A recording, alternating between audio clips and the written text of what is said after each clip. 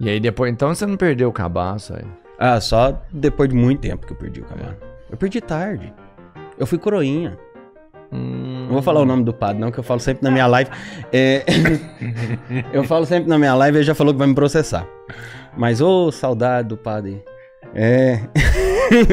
Aprendi muita coisa. Nossa, velho. Sacanagem, cara.